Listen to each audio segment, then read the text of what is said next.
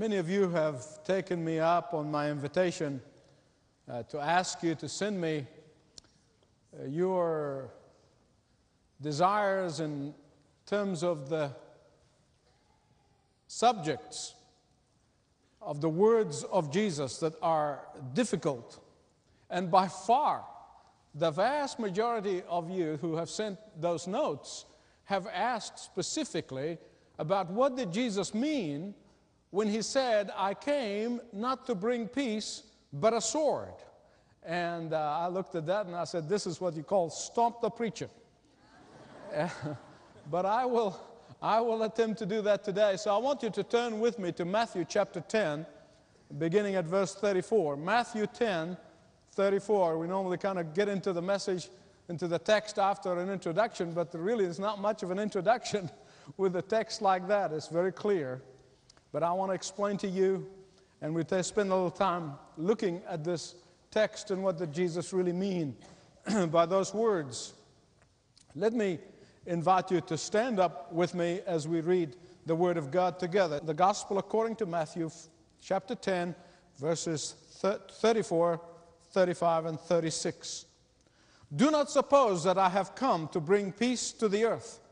I did not come to bring peace, but a sword. For I have come to turn a man against his father, a daughter against her mother, and a daughter in law against her mother in law, as if they need any help. a man's enemy will be the members of his household. Not so long ago, two things happened that kind of crystallized some of my thinking here. A young man was telling me about a ministry with which he became associated. And one of the first things they said to him when he joined the ministry said, Do not say that you're a Christian. Reason the word Christianity is misunderstood by a lot of people. Sometimes Christianity has a negative connotation to a whole lot of people. So they said to him, You can say that I'm a follower of Jesus Christ if you're asked. And even so, when you offer Jesus, just offer him as a friend, period.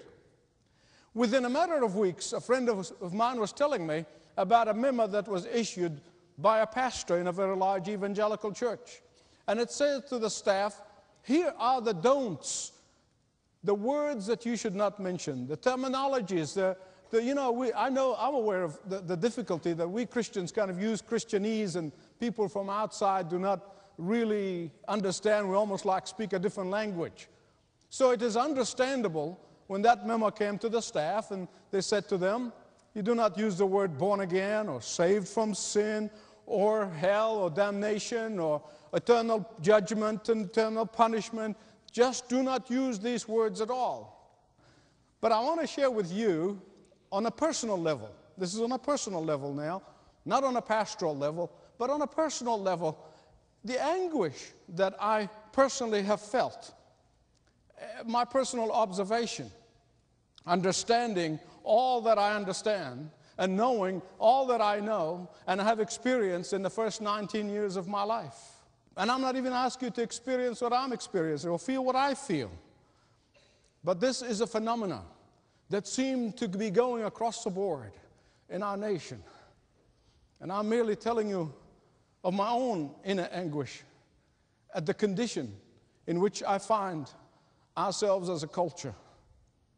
And it is not surprising, therefore, it's not astonishing to me that before Jesus goes to verse 34 to talk about he did not come to bring peace but a sword, he begins in verse 32 by saying, Whoever acknowledges me before men, I will also acknowledge him before my Father in heaven. But whosoever disowns me before man, I will disown him before my Father in heaven. You see, before Jesus can talk about peace, he had to talk about acknowledging him before men. What does it mean to acknowledge Jesus before men? I want you to listen carefully, please. It is far more than just to say, I am a follower of Jesus Christ. It is more than claiming to be a follower of Jesus Christ, particularly if it is beneficial to my business and business dealings. It is far more to just recognize some truth about Christianity and about Christ and subscribe to those truths. It is far more than that.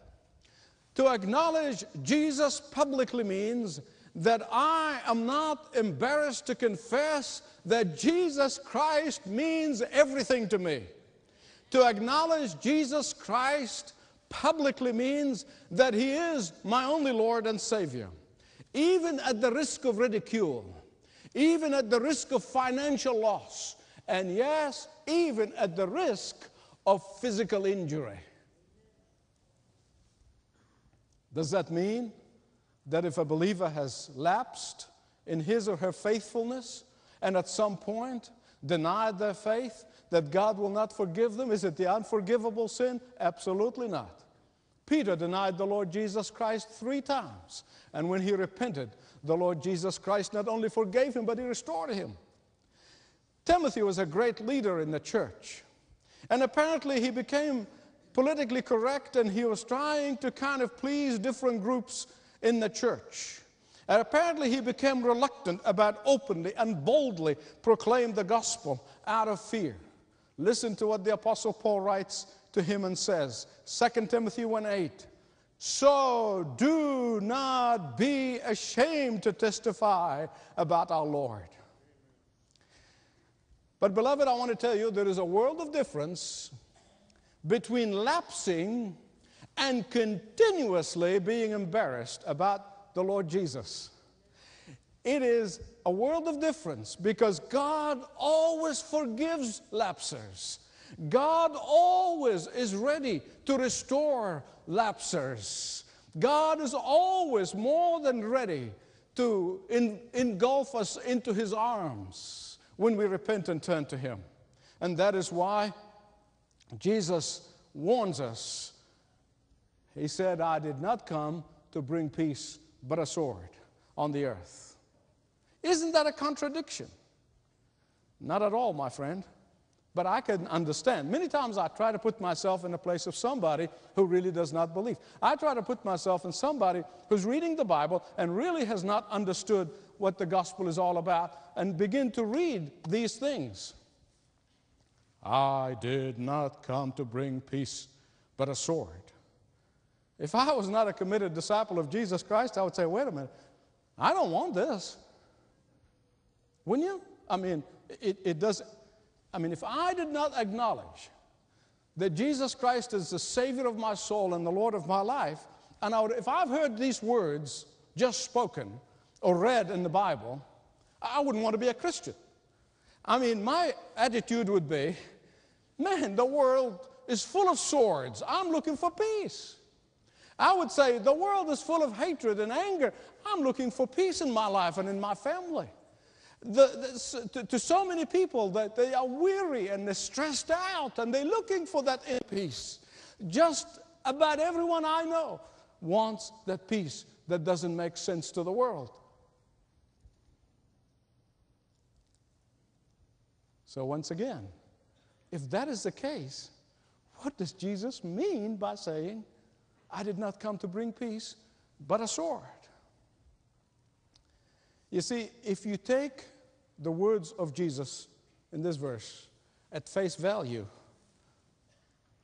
you have to conclude that this is the worst marketing endeavor of all times. I mean, surely this is not, I mean, this is not a good salesman here. I mean, Jesus couldn't be very, very good motivational speaker. surely. He's not winning friends and influencing people by saying those words. But of course, these words have nothing to do with the inner peace that only Jesus Christ can give you and give me. They have nothing to do with that inner peace that is only possible when you come in surrender to the Lordship of Jesus Christ has nothing to do with that inner peace. It's far from contradiction. I'm going to show you in a minute that far from uh, the Bible being contradictory, it is consistent. If you take those words at face value, you'll have trouble. But then you have to understand how Semitic people talk. you have to understand how a Semitic language is framed and how that language, because it really, that's where a lot of people get off on the wrong track. When they do not understand how it's this put together, how the language of the day, how the language of the time, and how the culture in which the Bible is born. You've got to understand it. Jesus was speaking to his disciples who have already experienced that inner peace that he gave them. Jesus was speaking to the disciples who never knew an inner peace, a peace of knowing that they are forgiven and they are on their way to heaven until they met Jesus. You got to understand, he's talking to them. And therefore, they understood that he was not speaking about that inner peace that only Jesus could give.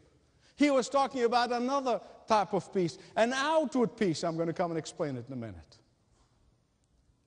Jesus was preparing them to understand that the very gospel of peace that they have received, that brought them inner peace, is going to be rejected by others.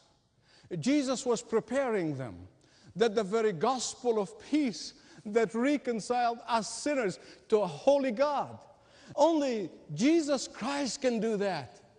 They understood that this is the peace that Jesus gives. They understood that he was not talking about this. He, they understood that the very gospel of peace that they have accepted, that they have received, is going to be rejected by others. And those who reject the gospel of peace will also reject the proclaimers of that peace. They will reject the proclaimers of that gospel. And that very act of rejection of the gospel of peace by some will bring conflict and disharmony between them and those who have accepted it. You see, it's the outward peace, not the inner peace. But you know what?